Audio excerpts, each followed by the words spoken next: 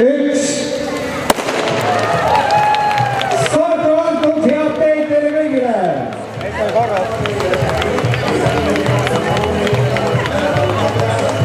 jälgelist esindajad siin, kui on startimas siis Eesti äh, korvpalli karikavõistlused ja, ja õige pea juba Alexela korvpalli meistriliiga.